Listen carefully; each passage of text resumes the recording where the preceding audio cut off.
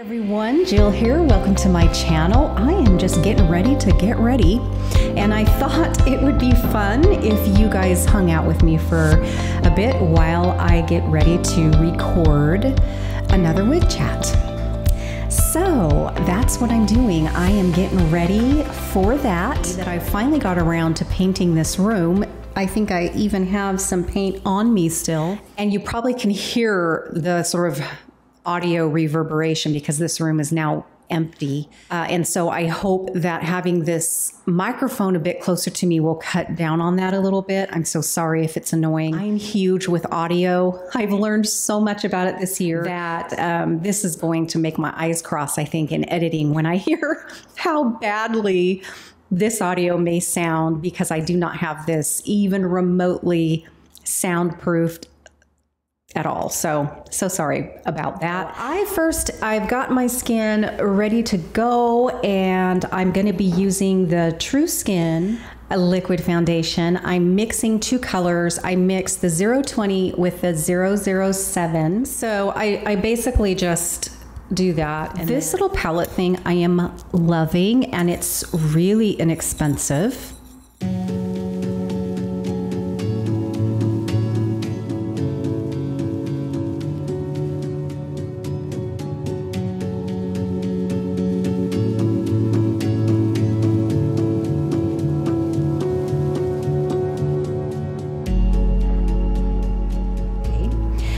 Go in with my currently favorite concealer. I have a few on my list that I want to check out. I'm always, always looking for a great concealer for us mature people. You know, we deal with a lot more than the younger crowd. Our criteria is quite different.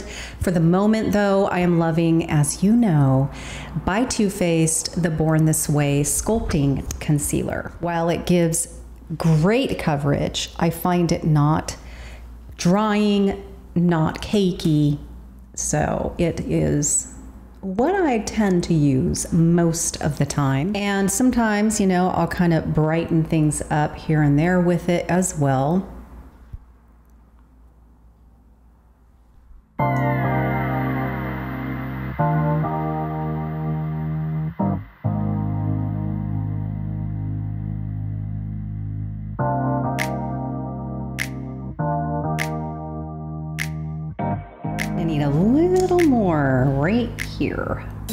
Else I'm gonna do because I, I, feel like I need an extra bit of brightness. The Mineral Fusion concealer, while it doesn't give me good coverage, I do absolutely adore the finish on this. And I've noticed that it really does brighten things up, but I need to go in first with like the one I just used, the Too Faced, to give me sort of that coverage first. And then I can go in and get a little extra bit of really pretty this finish on this concealer is amazing. So if you don't necessarily need good coverage, you might want to try this concealer because it is gorgeous.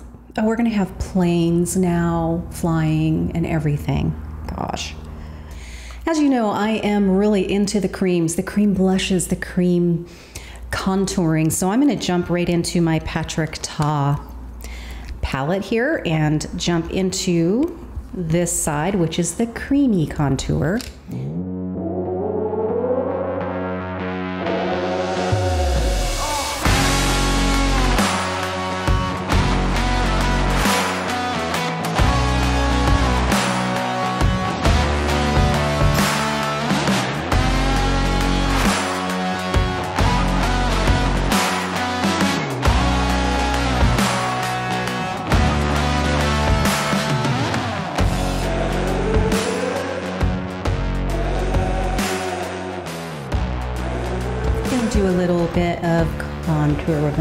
Here with this as well.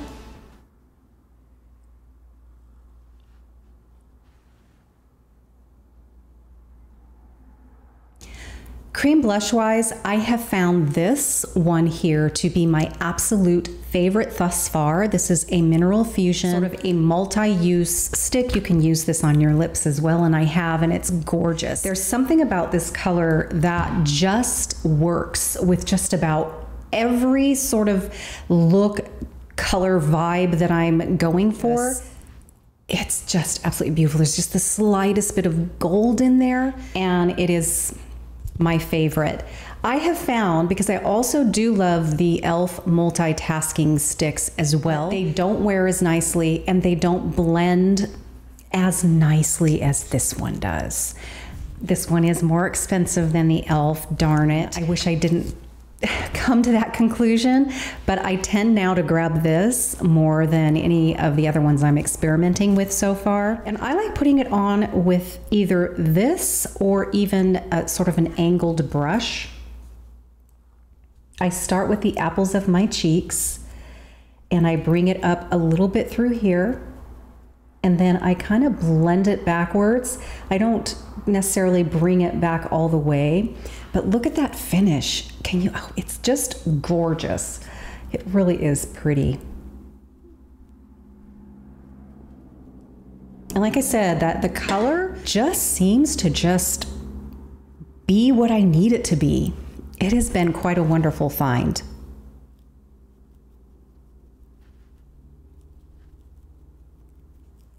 All right, so now I do feel like I need to at least set the concealer area as well as kind of set the bronzer, kind of set the blush without using powder finisher, you know, all over my face, kind of a, a translucent setting powder. I, am lately kind of trying to avoid that just because I love the way my skin looks when I use these creams. So I go in lightly here and there very specifically, and then I sort of set the bronzer with sort of more of a powder bronzer. I know it's crazy, but but it does definitely make a difference when I do things this way. I was so bummed. I actually dropped this when I was moving things out of here to paint, and it just broke all over the floor. It even broke my lid here, but there's still quite a lot of product left, and I love this blush. It is beautiful again. It has sort of this really iridescent gold to it. Beautiful. And this is this is Cheek Lover by Catrice. This is an oil infused blush. It's the only color they have. Uh, it's absolutely gorgeous. So I'm going to touch this and then I'm going to touch it down here on my towel or napkin, whatever you have handy there. And then I am going to just kind of lightly press this right over the top of that cream blush and I find this works so well as a topper, you know, to the cream blushes that I use. And if you go a little too heavy with it, I just like to kind of press it in then and blur blur it out a little. Nice. So now I'm going to stick with the whole Catrice thing and we have here a bronzer from them and it is called Sun Lover. And I'm going to take, what am I going to take?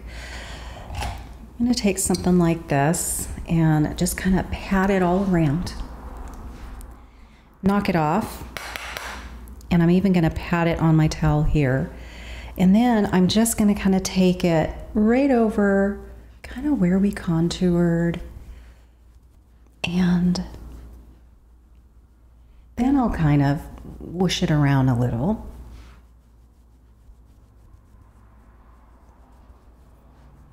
So before I really reach for a highlighter, I'm going to go back into the Patrick Ta palette and go for this really pretty warm, sunny kind of powder color they have in here.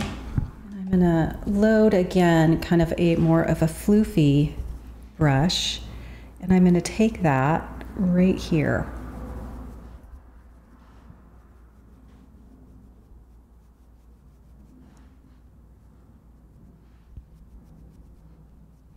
And I'm even going to kind of take it up here as well.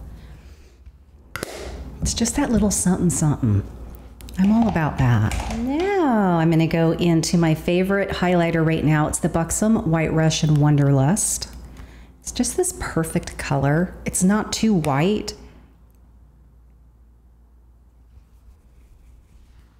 And I'm going to put it right on the tops of my cheekbones right about here.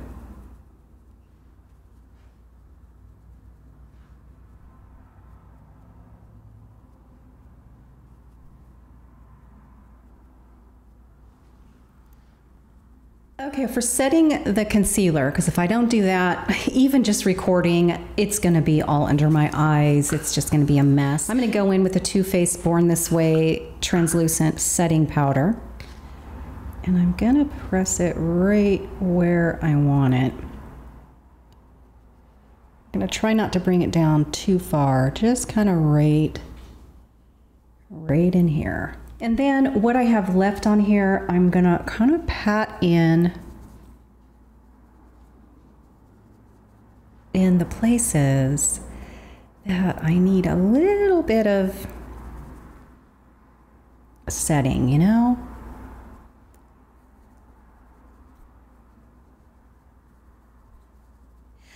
I'm going to be using my Soft Glam Anastasia, Anastasia, Anastasia palette today.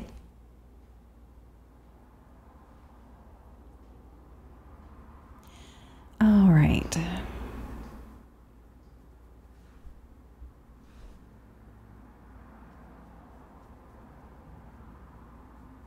Just now I did a wash with this color here.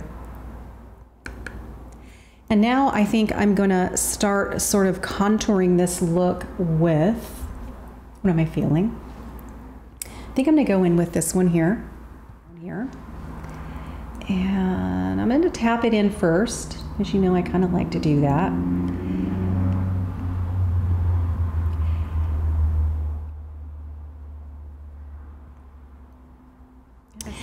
So this color does come off a bit orange for me, but it's kind of my background warmth in this look. So it does get covered up a little bit, but that background is there. It does do its purpose. I'm not bringing it completely up to my brow bone right up under here. I'm leaving that alone. It looks like I might be, but I'm not bringing it up quite that far. I'm going to go into this gorgeous, almost ochre color here.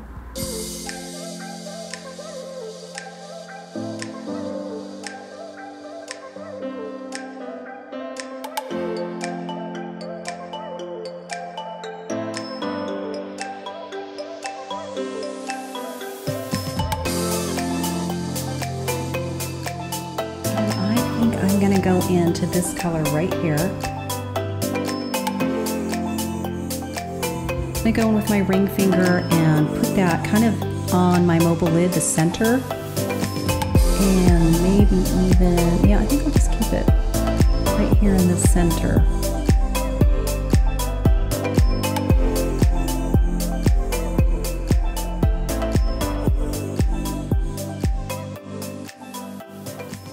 This is a Bare Essentials brush, just anything that you can pack with. And I think I'm going to go in way over here.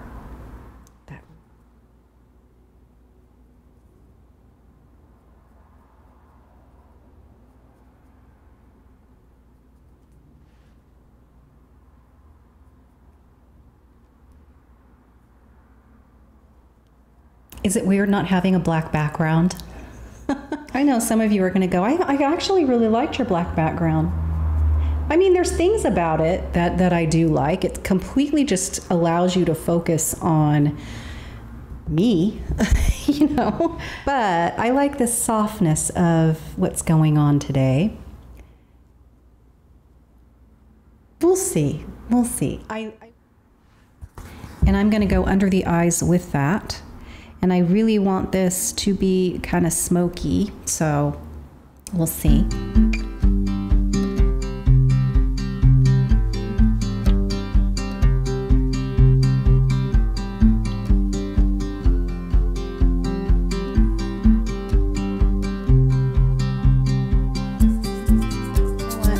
I think I'm gonna go into the Buxom Wanderlust, the white Russian highlighter that I love.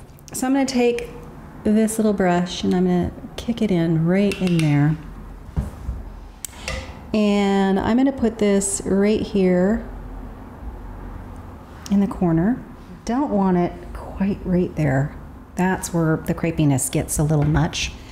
Okay, before I put on mascara, I'm going to go ahead and set all of this, and I'm going to be using the Physicians Formula Essence of Healthy. This is sort of a toner. It's not drying at all. It has a smell to it. All of Physicians Formula stuff does.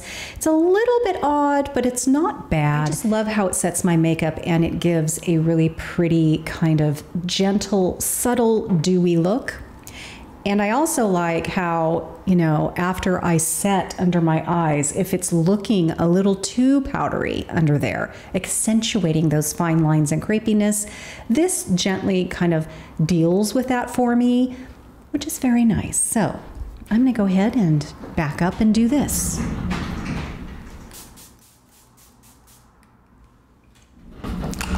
You can always take the clean side of one of these and lightly press in if you want. You can do that. I think I'm just going to take the same bronzer here and I'm going to accentu accentuate my lips a bit, make them look a little fuller, a little, little fuller, a little fuller, fuller. I'm going to dip into the bronzer. I'm going to go and not touch the light part. I'm just going to do the um, the bronzy part. And you've seen me do this now, I'm sure.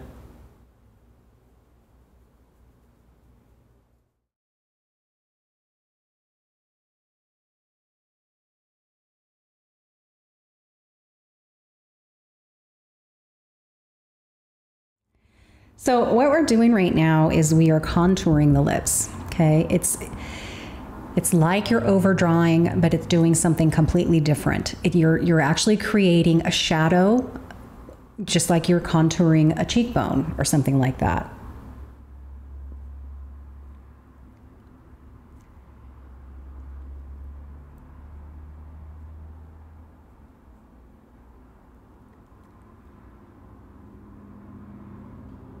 All right. The littlest things that make the biggest impact. Makeup is so, so why am I leaning in so much? Makeup is incredibly powerful because you're playing with light and that is powerful when you when you contour and you you kind of get how the light plays with certain parts of your face what you want to accentuate what you want to diminish what you want to bring out what you want to have sink in. And once you kind of get that then all the fun begins and those little tiny things are just big big magical differences it's so much fun.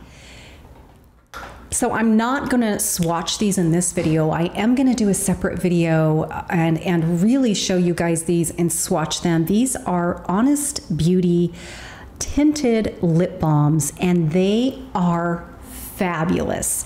I have this one in my bathroom, which is the just the clear and I put it on after I do my double cleanse and get ready to go to bed in the evening, whatever. And this is, you know, what I put on to moisturize my lips. And then if I'm not going to bed right away, I will put it on one more time when I do go to bed.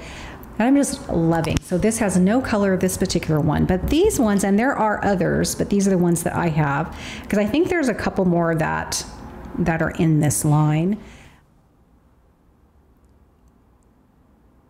So, what's beautiful about these is that it really is just the hint. It's a hint of color and it is beautiful. It's just enough color. And I've been really into this because mask wearing, you know, is a thing, but I don't want to, when I'm not wearing a mask, when I'm driving my car or whatever, I want something on my lips. And yet I don't want to go full on lipstick because when I take my mask off, you know, it just a serial killer kind of look, you know.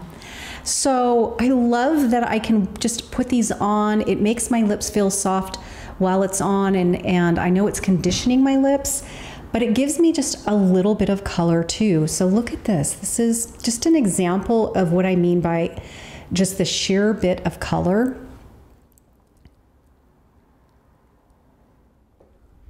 So you can just see sort of that really beautiful look that you get with these. And then take this one off. I just wanted to show you how sheer it is because I bet, you know, I'm sure that it looked like it was going to come off really, really dark. You can layer these, I'm sure, over the top of a lipstick. I might do that. Oh, wow. It's so pretty. Just the kiss of, of color, you know? It's really pretty.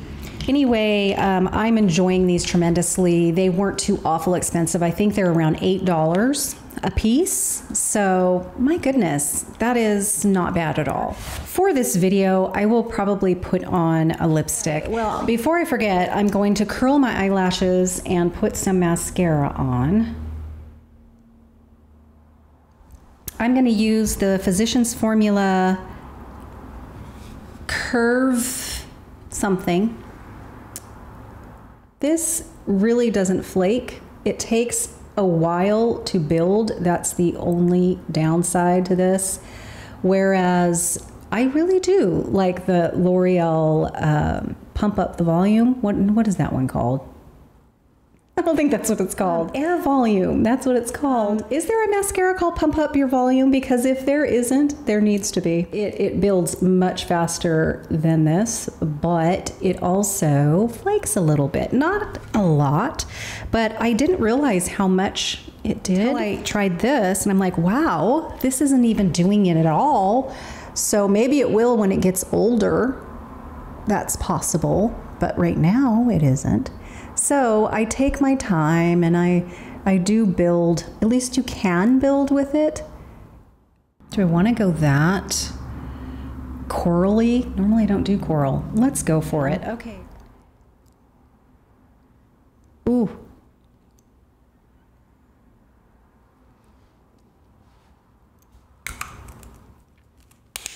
I'm not sure what my thoughts are on this. I love this lip gloss. Just recently purchased this. This is a Physicians Formula plumper one. it's clear, but I've used it over the top of lipstick, so the doe foot doesn't look clear anymore. But I love this applicator. This doe foot on here is just, I love it.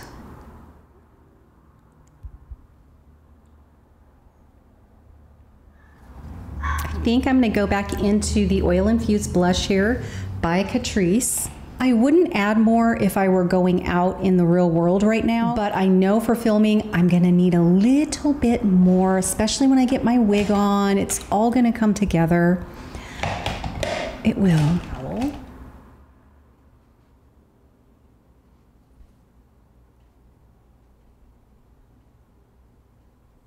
Now I'm to take my Blendiful. This is by Tati Beauty. I have talked about this on a couple in a couple of videos already, but I'm to just kind of go over. I just don't want any lines of anything anywhere. Okay, uh, we're finished with this look. I need to now record my wig chat. And what I have on my head right now is a Raquel Welch wig. It's called Editor's Pick Elite. And the Elite just means that it's 100% hand tied cap and it is in the color Shaded Biscuit. All right, so if you're interested in uh, helper hair, be on the lookout for my next wig chat. Thanks for hanging out once again, and I'll see you in the next video. Bye bye.